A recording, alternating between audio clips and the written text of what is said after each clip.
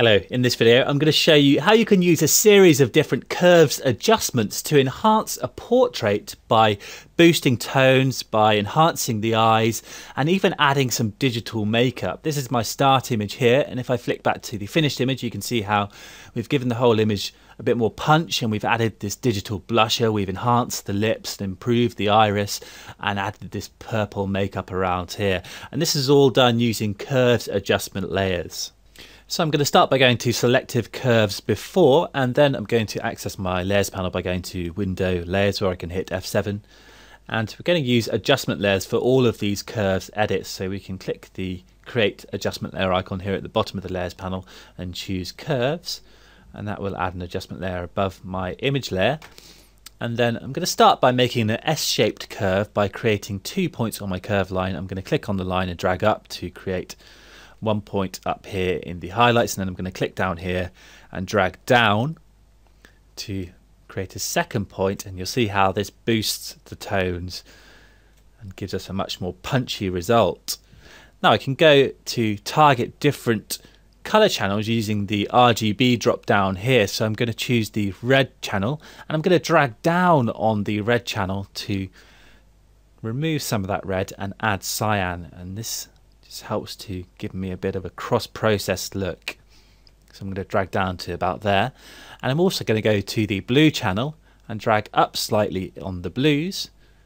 And then I'm going to pin this part of the curve line back down to its starting point just by creating a couple of points there to set the top half of that line. So we're only adding the blues in the shadow tones.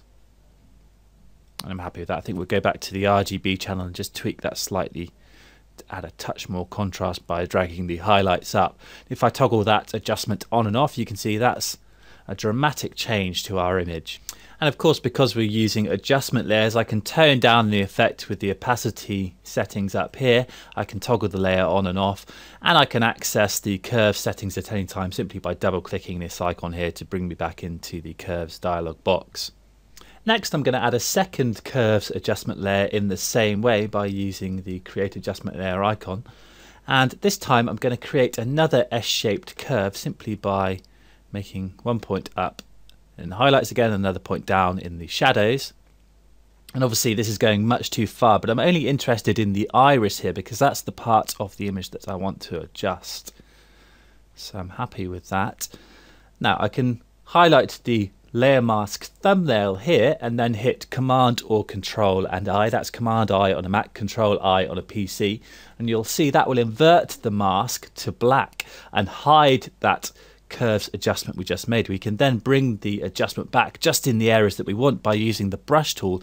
I can paint with white while that mask thumbnail is highlighted to reveal that curves adjustment. So can grab the brush tool, set foreground color to white, choose a soft edged circular brush tip like that one, and I can use the square bracket keys on my keyboard to resize my brush tip, and then I can simply paint over this area around the iris to, to reveal that stronger contrast setting around this part of the image. And if I toggle that layer on or off, you can see that's the before and that's the after.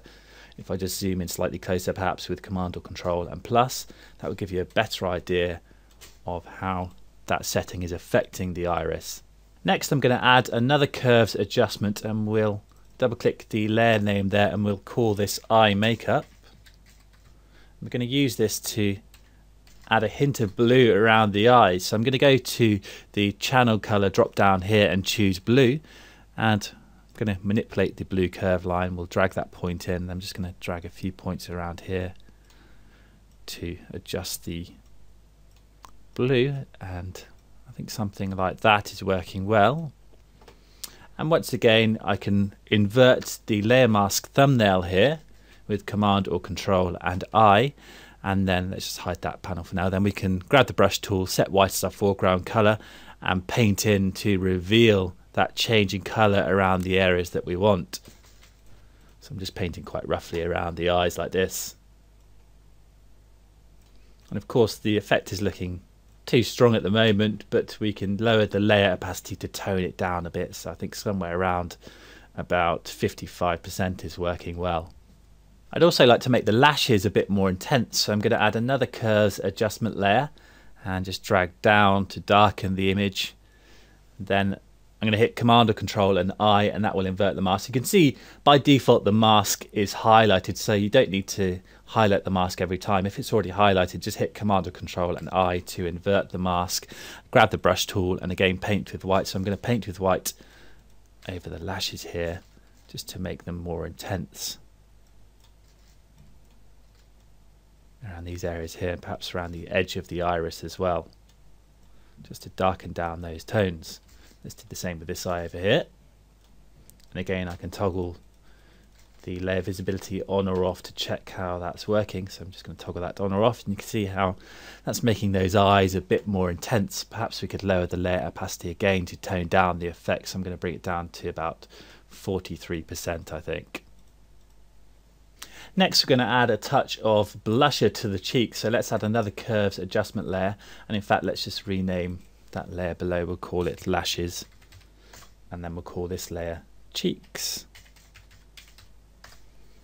Then I'm going to go to the RGB drop down again. This time we're going to choose the red channel and drag upwards to add red.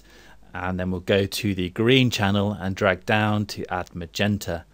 And again, hit Command or Control and I to invert the layer mask thumbnail there.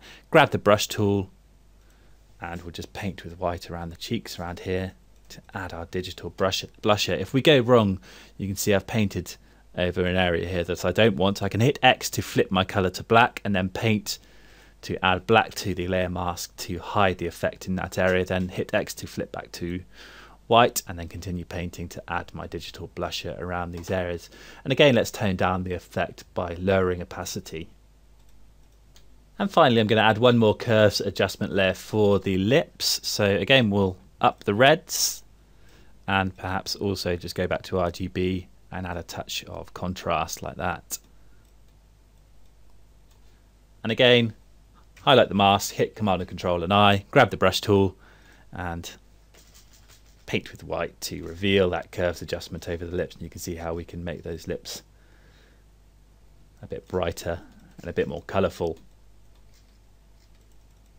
And as before, I think we'll just lower the layer opacity to tone down the effect and let's just call this final layer lips and that's my finished image. Let's just take a quick look back through the layers that we've used. So this was our starting point. We used a first curves adjustment layer to add some cyan and to make the image more punchy. We enhanced the iris. We added some eye makeup. We improved the lashes by darkening the tones around that area. We added our digital blusher over the cheeks and finally we gave the lips a bit more punch. And that's the finished effect. Thanks for watching.